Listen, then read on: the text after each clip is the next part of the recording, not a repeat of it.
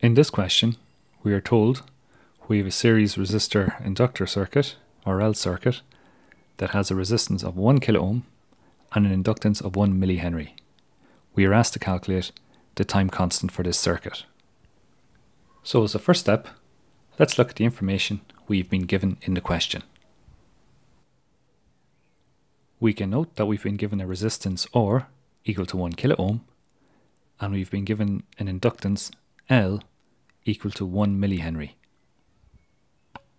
We've been asked to calculate the time constant tau, which for an inductor is calculated by taking the inductance and dividing it by the resistance, L divided by R.